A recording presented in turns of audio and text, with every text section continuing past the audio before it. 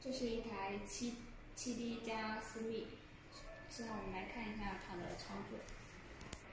首先我们拿上电源线，插上，然后有个三合一开关打开，手柄，这是我们的私密手柄。私密的话在这边，我们箭头，箭头对准这个白点插进去。七 D 的话也是，这里有个箭头，然后有个凹槽，我们也是对准白点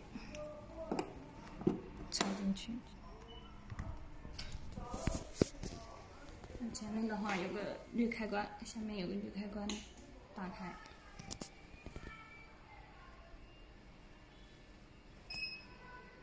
这里有七 D 和私密的界面，嗯，先来看七 D 的操作，点一下七 D。进来，首先我们拿上手柄和探头，这样平行。推进去，然后检查一下缝隙。我们的刀头类型就显示在这里，然后发数两万发，间距。间距的话，最小是一点零，最大是三点零。嗯，调成一点五。长度最长是二十五，最短的话是十。嗯，长度调最长。能量默认的话是零点二进来，嗯，最大可以加到三点零。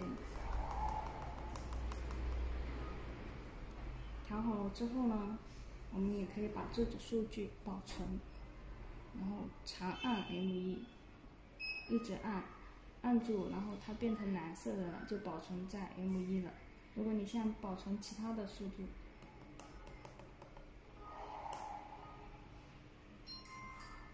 把这些变动一下，可以保存两组数据，然后按 M 二，一直按住，啊，滴一声也会滴一声。然后就保存进来。如果你要用这组数据的话，我们按 M 一，刚刚保存的数据就出来了，直接按准备就行。像我们调好之后，我们就来测试打点。首先我们要检查一下我们刀头里面有没有水，水的话它有没有盖过里面这个薄片。然后我们再涂上凝胶。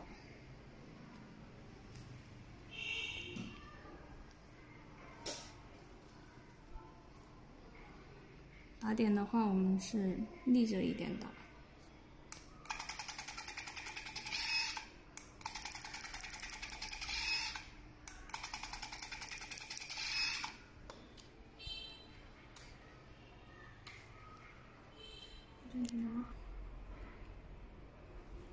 这个呢是我们单排的打，如果你想循环打的话，这里有个时钟，这里五十可以调到一千发，五十一加，嗯，调到五十，然后按准备，准备的话我们按手柄开关按一下，它就会循环打打五十发。如果你中途想暂停的话，我们也是按一下手柄的开关键，它就会暂停。然后继续的话也是再按一下。这个是我们的循环打。然后设置的话在这里设置，这个是我们后台每个刀头可以单独调能量的，最小的话是。五十，最大的话可以加到两百。我们默认的话都是一百，调好之后呢，就按确定就行。它滴滴两声就写进去了。然后我们手柄编码和探头的编码都在这里。我们要配手柄和刀头的话，要统一这一个编码。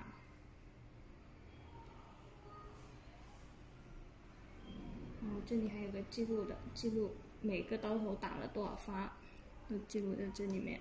然后也可以清零，复位就是清零，返回就行。这个就是我们七 D 的操作。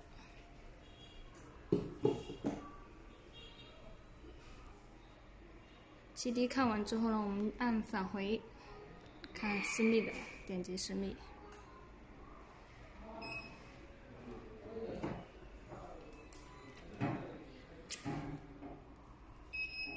私密的话呢，我们这里也是上面有五个柱、六个、七个柱，然后刀头的话有金色的七个柱，然后中间也有一个，要对准柱子插。哦，这里有刻度，刻度对着刻度插也行，一定要对准刻度才能插。然后我们私密的发数显示在这里。探头的类型四点五，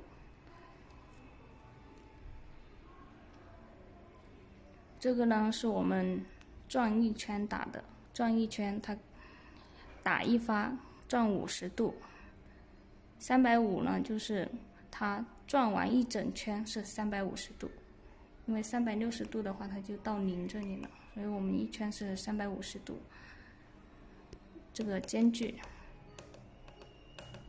间距最小是一点零，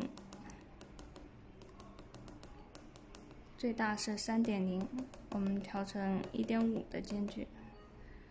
长度最长是二十，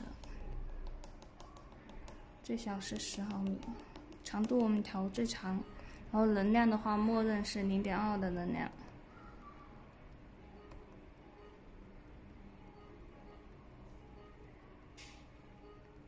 最大也是加到三点零，我们把这个数据调好之后，也可以 M 一 M 二可以保存数据，长按这个，它滴一声就保存进去了。然后 M 二的话也可以重新调一下，然后可以保存第二组数据。现在我们来测试一下打点，这个的话是。自动和手动，我们先把它调成手动的，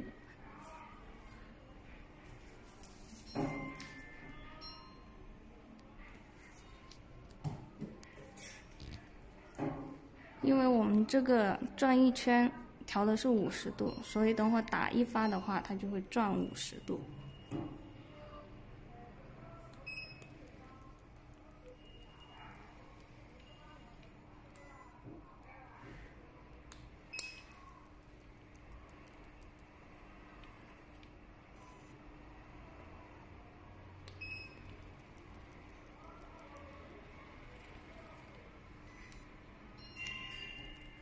现在我们打了两发，它就转到一百度来了。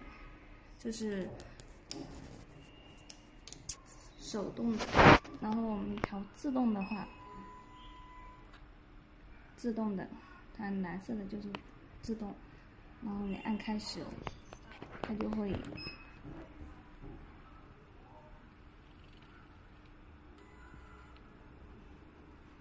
转一圈。一发转五十，然后一直会转完一整圈三百五十度，然后归零。这是自动的打点。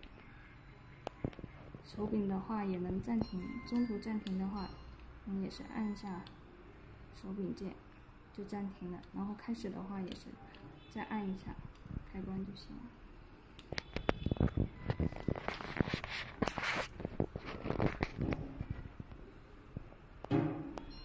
这个的话是我们每一排打点的点数，出点的一排打十四个点。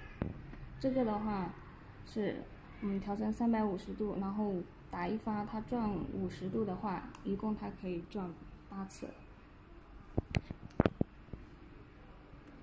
设置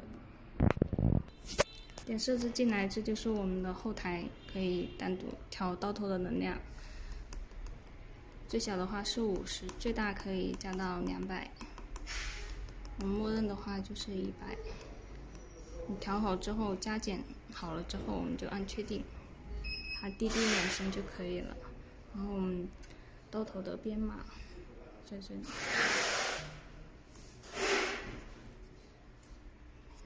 这就是我们的七 d 加私密的操作。